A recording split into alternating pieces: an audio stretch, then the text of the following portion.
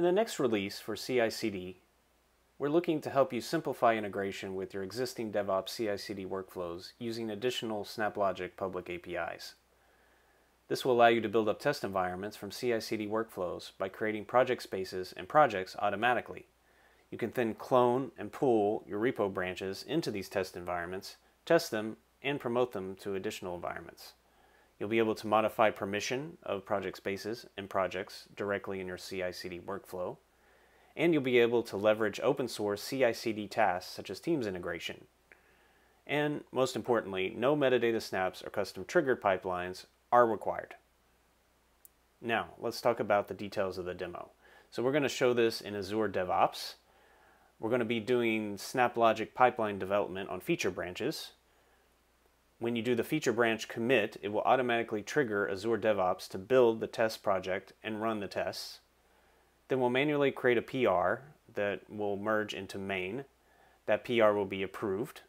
Now this can be automated if the tests pass. And the main branch merge will automatically trigger Azure DevOps to deploy to staging. Now for this demo, for simplicity, different project spaces in a single org are used for each stage, but projects can be migrated and, and cloned into different orgs. So now let's start the demo. First I'm going to open up GitHub, github.com and here you can see our project. You can see we're looking at the new feature branch. There's also main. And you can see the current commit number here. Now if we go over to the manager, we can see the same project have this in a dev project space. You can see checked out is a new feature and the same commit number. In this project, we have the YAML file for the Azure pipelines. We have different tests that can be run to check uh, regressions for the pipeline. We have the test harness, the actual pipeline itself, and a README markdown file for the repo. You can also see we have a project space for a test environment and a staging environment. So now if we look at Azure DevOps, you can see this triggers on either the feature branch or the main branch. And we have different jobs for each. So this test job will trigger uh, when the feature branch um, is merged, and then the promote will trigger when the main branch is merged. So now let's make a small change to the pipeline. We'll just increment this one field in the mapper.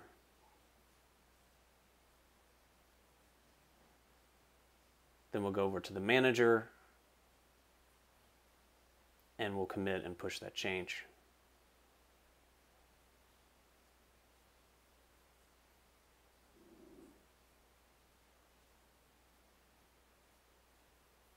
So it shows that the pipeline was modified. We commit.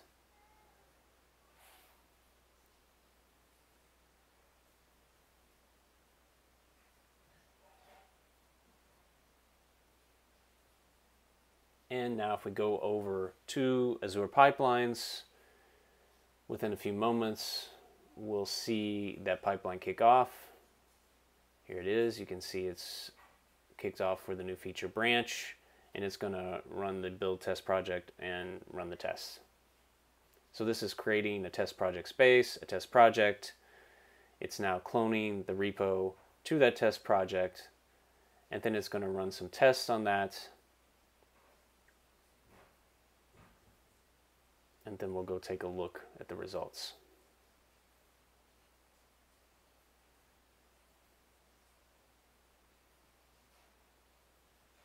We can also get update on teams. So here you can see run number 77 was started. I was notified about that. If I reload the manager and go down to the test project space, you can now see it's created a test project for build 77, clone those changes, and run the test against that. So now we're going to create the pull request. There you can see our commit number. And we're going to request that we bring in the changes in our feature branch into main. Here you can see the diff that shows where I incremented 17 to 18. Create that pull request.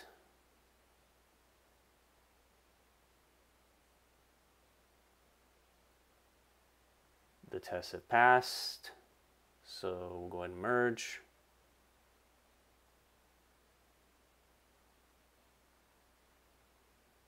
And there we go. So now we can go over to pipelines and we'll see that the promote job is kicked off because we did that merge into main.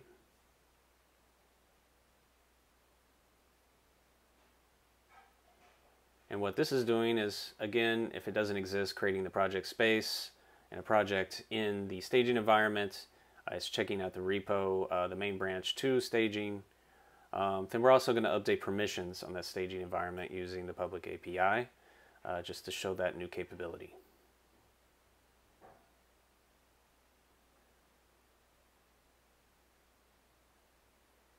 So here you can see the workflow is run. If we reload the manager, we can see now it's updated the same project in staging. Here you can see it's main, F992 for the commit. And here we can see in GitHub the same. And now we'll also take a look at the new permissions. Here you can see as part of the flow, I also added permissions for the group admins in this project space.